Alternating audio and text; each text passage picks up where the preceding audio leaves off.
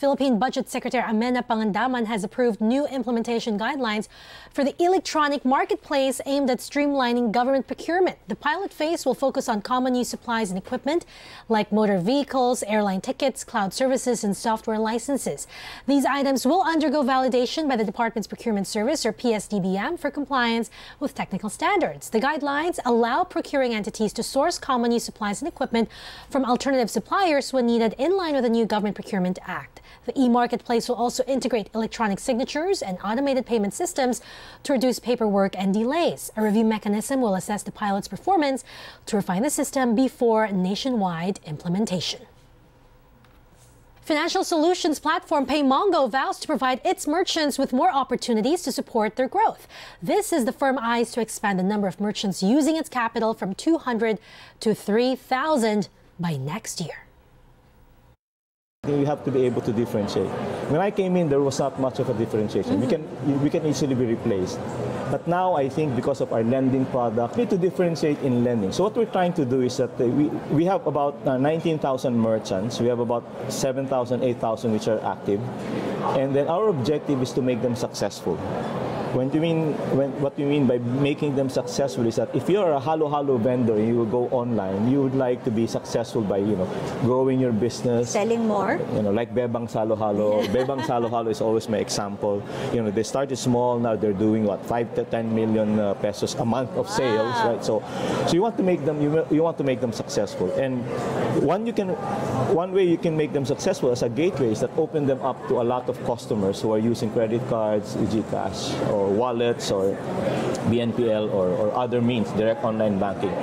But I, what we found out is that the biggest way to help them is to support them in their capital. Instead of us accepting applications for loan, we tell our merchants who are eligible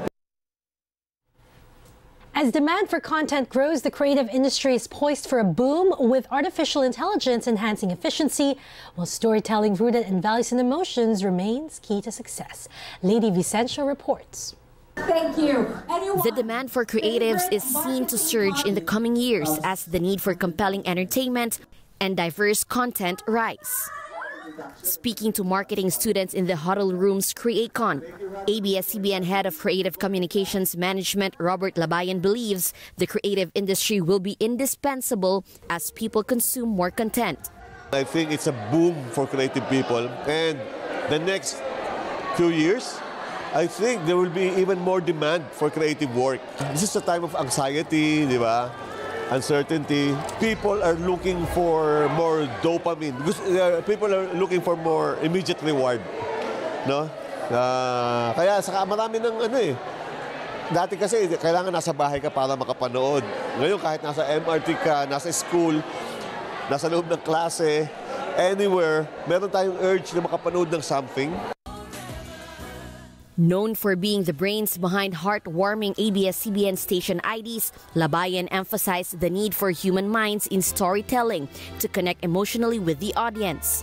While artificial intelligence is starting to be utilized in media and marketing industries, he believes it remains to be a tool for efficiency. But storytelling rooted in values and emotions will continue to define success in the creative industry. I think AI will help many people, lay people. Pero creative people would, as much as possible, not use AI. Because I think we have enough heart and human experience na parang as of now, wala tayong need for it kasi kaya naman natin gawin on our own. I know it's fake eh. I know it's not real. Parang, oh, di, wala talaga ako maramdamang connection. You have to relate to a fellow human. ABS-CBN head of Integrated Digital Sales, Jolly Estaris, echoed this sentiment highlighting the importance of storytelling in digital evolution with the emergence of numerous content platforms. Estaris said creating compelling content remains more important. Wherever ABS-CBN content lands, people do watch it. And again, it, it also goes to show that people are not loyal to a platform or loyal to a channel. They are loyal to content. As traditional platforms like television fight for survival in the digital age, both leaders stress the importance of innovation. They encourage the industry to tailor content suitable for both digital and traditional media. elevate production quality, and adapt to trends that appeal to younger audiences to ensure wider reach. Lady Vicencio, ABS-CBN News. Thank you very much. And with that, The Philippine peso is depreciating against the dollar, hitting its lowest level in over two years on Thursday as investors sell off the prospects of more rate cuts. Jackie Pascual reports. The Philippine peso weakens to 59 peso against the US dollar Thursday. Data from the Bankers Association of the Philippines show the peso opened at 58.93 before closing at 59, its weakest in two years. An analyst attributes the peso's depreciation to the dollar's strength driven by Donald Trump's presidential victory. The weakness of the peso wasn't just the weakness of the peso. I think we've seen it for all emerging market currencies following the Trump presidency. Um, markets um, were, were trading into the US dollar um, quite heavily, thinking that uh, rates would be uh, more sustained, uh, more elevated, considering the inflationary uh, measures that uh, he might impose in the near term. This will mostly have an effect on imported goods, with some businesses seeing a rise in prices of products from abroad, which include fruits and even fuel. But PhilExport says there is a positive side. malaking uh, importer, yung pinakamalaki nating exporter, yung mga, o, mga semiconductor, no? Because they import uh, 60-70% of their materials. But on the other hand, when they export, nababawi nila yun. Ang apektado dyan, of course, uh, depende naman, marami namang factor, yung fuel natin, uh, yung presyo sa atin. Pero nakikita ko na, ipa-fluctuate with or without the exchange rate. Eh. An economist also sees a weaker peso as something good for some sectors, including families of overseas Filipino workers, online workers earning dollars, and even foreign investments. It's favorable if they convert at a relatively higher exchange rate. Uh, that's favorable for foreign direct investors, for FDIs, and also for foreign portfolio investments, and also for tourism. The central bank is also not alarmed with the weakening of the peso. We don't worry so much about the whether the peso depreciates or appreciates. We worry about the the pass-through effect. Pero ngayon medyo okay po naman. So it depreciates very sharply. Then we talk. Kung hindi naman sharp, eh, it doesn't become inflationary. It's inflationary kung medyo sharp at saka tuloy-tuloy. Hindi kami nakikialam sa day-to-day movements binabantayan namin yung swings yung that take place over a few months hindi yung uh, araw-araw. Remolona admits the central bank has already started to slowly intervene so the peso won't sharply depreciate by selling some dollars. But he asserts there is nothing to worry about for now. Jackie Pascual, ABS-CBN News. RTX unit Collins Aerospace holding its first article inspection of aircraft seats at its Tanauan City facility, marking the company's first collaboration with Philippine Airlines. The Pinnacle main cabin seats will be installed on PAL's narrow-body aircraft. PAL President Stanley Ng led the inspection, joined by government officials and the U.S. Embassy. He says the partnership underscores their commitment to supporting local industry while enhancing passenger comfort.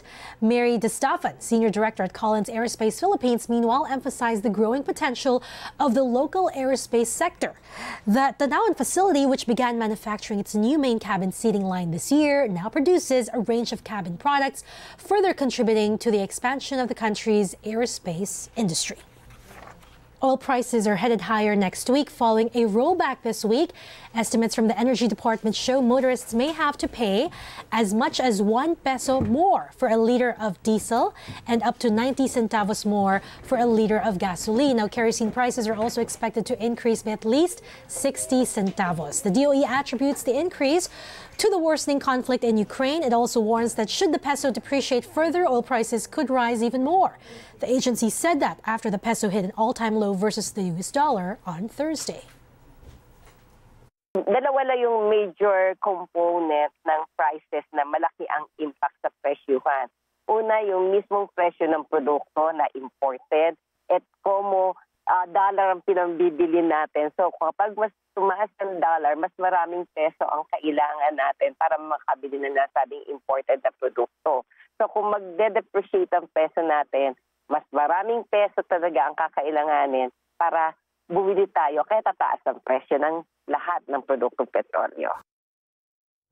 Philippine energy regulators approve a 2.34 billion peso capex project to enhance the northern Mindanao grid. The Laguindingan 230 kilovolt substation project by the National Grid Corporation of the Philippines aims to boost grid security and support economic growth in the area. The new substation will enhance the power supply for the Misamis Oriental 1 electric cooperative and address the overloading of the existing Opol substation, which currently serves as the main power supply for the Laguindingan area. NGCP has been directed to complete the project by the end of January next year. MasterCard and Beep operator AF Payments Inc. have officially launched their contactless payment solution for public transportation in Metro Manila. As Andrea Taguines tells us, BGC commuters are the first to have a go at it. Take a look. Tap and go. Commuters can now use their MasterCard prepaid, credit, and debit cards to pay for their bus rides in Bonifacio Global City. Cardholders simply have to tap their card directly on BGC bus validators, eliminating the need to buy separate bus tickets. This new program expands the existing contactless payment options available via Beep cards and Beep QR codes. Commuters say this will make for a more convenient trip especially for those who are used to having to constantly reload their beep cards. Hindi mo alam na magkano na lang pala yung, yung load ng beep card mo. So, yun, pipila ka pa din. Hassle siya kapag madaming pila and rush hour like 6 a.m. or 6 p.m. Kasi matatagalan ka talaga sa pila para lang mag-load ng beep card. Less waste po since ginagamit mo na yung meron ka na. Hindi ka na kailangan mo ng ganito or less waste of plastic. MasterCard has enabled this same open loop transit system in several major cities around the world, such as London, Sydney, and Singapore. Now, Filipinos can also benefit from using just one card for both their transport and retail needs. The first time I went to Hong Kong, which was uh, 2005, I remember using the Stored Value Octopus card, which you could use not only at the MRT stations. You could also use them at convenience stores. Fast forward a few more years in Singapore, the same thing happened. Now, very proudly together with Beep and Land Bank, we're able to say, we did it, nandito na tayo.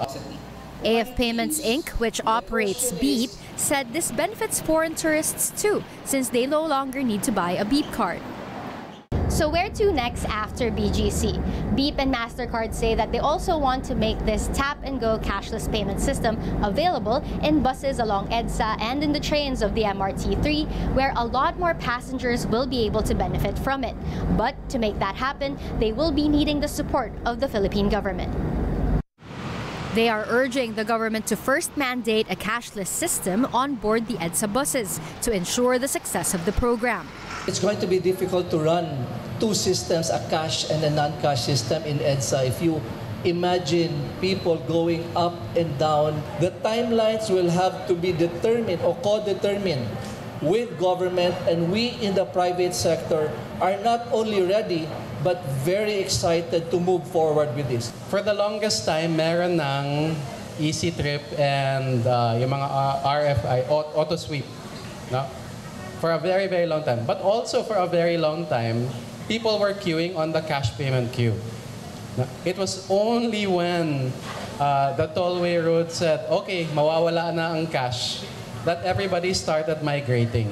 So there has to be some uh, push. Just before the AFPI and MasterCard also aspire to further expand the tap and ride scheme to jeepneys, ferries, and other bus lines across the country.